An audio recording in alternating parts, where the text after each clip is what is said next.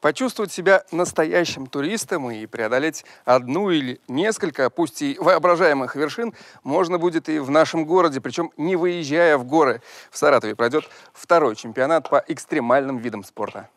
Абсолютно никакая подготовка не нужна. В принципе, в экстрим-парк в Корольковом саду ходят дети от 10-8 лет и с легкостью, ну не с легкостью, но проходят полосу препятствий. А на чемпионате, я думаю, у нас стоит ограничение от 16+. Я думаю, никаких проблем ни у кого не возникнет с прохождением этапов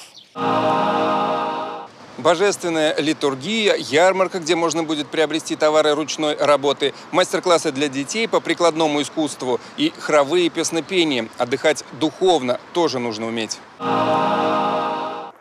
Ловить рыбка большая и не только. Каждый желающий в эти выходные может почувствовать себя героем одной из русских сказок, правда, без последствий. Здесь, на Монаховом пруду, пройдет большая рыбалка, причем организаторы обещают еще массу сюрпризов. Смотри, Олег, клюет, клюет, оп, сорвалась.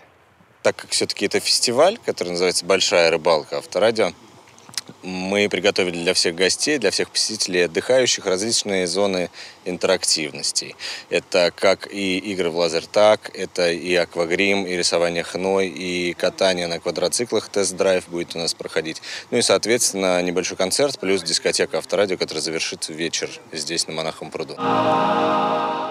Отдохнуть в предстоящие выходные можно, конечно, и без наших рекомендаций. Главное, помните, солнце, воздух и вода – наши летние друзья. И не забывайте о своей безопасности и здоровье. Удачных вам выходных!